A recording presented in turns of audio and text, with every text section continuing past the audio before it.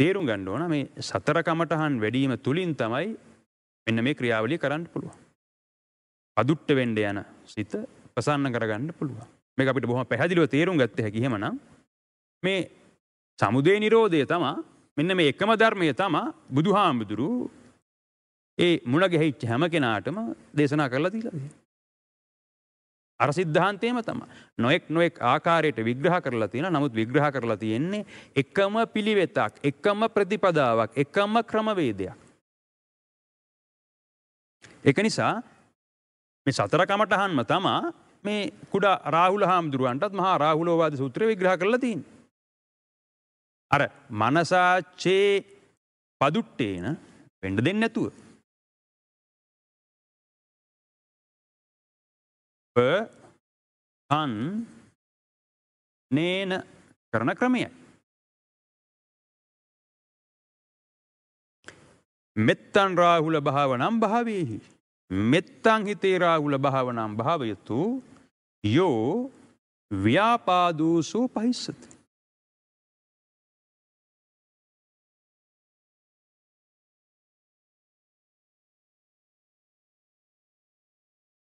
කරුණන් රාහුල භාවනම් භාවෙයි.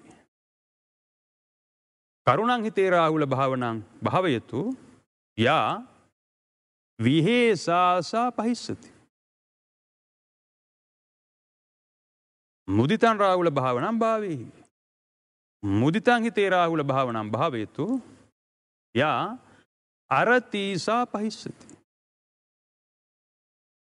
උපෙක්කන් රාහුල භාවනම් භාවේ. උපෙක්කං හිතේ රාහුල භාවනං භාවයතු යෝ පටිගෝසෝ පහිස්සති. අසුබන් රාහුල භාවනම් භාවේ අසුබං හිතේ රාහුල භාවනම් භාවයතු යෝ රාගූසෝ පහිස්සති. අන දැ බුදුහාදුරු කාරණා පහක් දෙපැත්තක් විග්‍රහ කළ.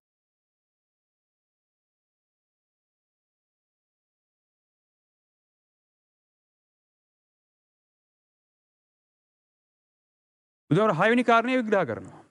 අනිච්ච සංඥන් රාහුල භාවනම් භාවීහි.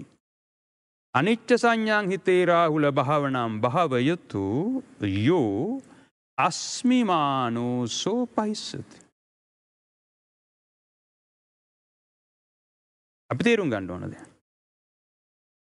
අනිච්ච සංඥා වඩලා මොකද කරන්න ඕනි. ආස්මිමානය අර මං්්‍යතාබින් අත්ත භාපටලාබි කියලා කිවත් ඒක. එක මිදී නිදහස්වෙන්ට.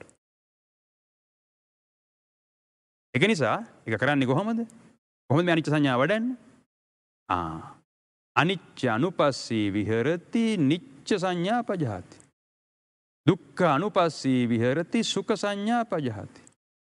අනත්ත අනුපස්සී විහරති අත්ත සංඥා පජහති. එමත් නැත්තං අනිච්චන් දුක්කා විපරිනාම දම්මම් මෙනෙහි කරලා මෙන්න මේ නිච්ච සුකාත්ත භාවේ මිදී නිදහස්වෙන්ට. අන්හෙනද අපට තේරුම් ගත්ත හැකි මෙතනත් මේ විග්‍රහ කරලා තියෙන්නේ මොකක්ද. මනයි චිත්තයයි පිරිසිදු කරගන්න හැටි. එකයි තේරුම් ගන්න. රාගයයි දේශයයි. එතන චිත්තය මොහය උපදින තැන මනු. එක නිසා මේ ක්‍රියාවලිය කලා නං පදුට්ට වෙන්ඩ යන සිත රාගෙන් දවසේ මෝහෙන් පදුට්ට වෙන්ඩ යන සිත ප්‍රසන්න කරන. එහෙමනම් මේ සිතේ තවදුරටත් පිරිසිදු කරන්ට දෙයක් නෑ. එක තේරුම්ග අර ඇස කනාසේ දිවකයමන කියෙන ස්පර්සායතන හය එකට රූපයක් ස්පර්ස වෙලා පටිච්චවීම නිසා අපිරිසිදුවෙන්ඩ යන සිත එතැන එතැන දීම මෙන්න මේ බුදුහාරු දේශනා කරන ආකාරයට කලාන්නම් බ්‍රාවුල හාදුරන්ට විග්‍රහ කළ තින ආකාරයට කලාන්නම් මේ සිත්තේ තව පිරිසුණු කරන්න දෙයක් නෑ එකයි තීරුම් ගන්න ඒකනිසා බුදුහාරු අර අසුරු සනත් දීලා ති නමකේටද අනිච්ච සංඥා වැඩීමට මෛත්‍රය වැඩීමට මල් සුවදක් දෙන්න තරම් වෙලාවක්. එනිසා අපිට පහසුවෙන් තේරුම් ගන්න පුළුවන් මෙතන තියෙන්නෙත් මේ සතර කමටහන් මයි කියන එක. මරණානුස්සතිය අසුභානුස්සතිය මෙත්තානුස්සති. මෙත්තානුස්සතිය වැඩීම තුළින් තමයි මෙත්තා කරුණාම ජුතා උපෙක්කා බවට පත්තෙන් උපෙක්කා සිතක් ඇති කර ගන්න පුළුවන්. එකනිසා මේ තින්නේ සතර කමටහන්මයි.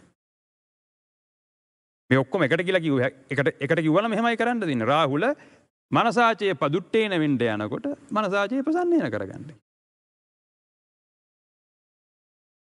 එකමදී. එහෙමනම් අන්න භාසතීවා කරෝති. එක තීරුම් ගන්න. මේ කතා කළ තියෙන මනසාජය පදුට්ටේන වෙන ආකාරය එක මිදී නිදහස් වෙන්න නම් භාවිතා කළ යුතුදේ. මනසාජය ප්‍රසන්නන කරගන්න ක්‍රමවේදී. ඒක බුදුහාරු හත්වනි කාරණා විදිහට ඊට පස්සේ විග්‍රහ කරනවා මොකද්ද? මෙහෙම හයක් විග්‍රහ කරලා හත්වෙනි කරුණ ආනපාන සති සමාධි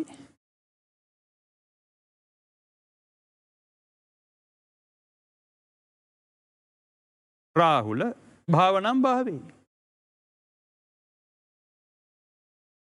ආනපාන සති සමාධී මහප්පලා හෝති මහානි සංසා. එකතම හත්වනි කාරණා. ඒකයි තේරුම් ගන්න. මේ තියෙන්නේ එකම ධර්මයක් එකම ප්‍රතිපදාවක් තමයි මේ විග්‍රහ කරලා තියන්නේ කිය.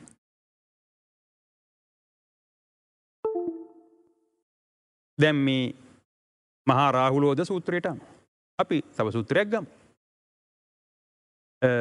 අපි ගමු ගිරිමානන්ද සූත්‍රය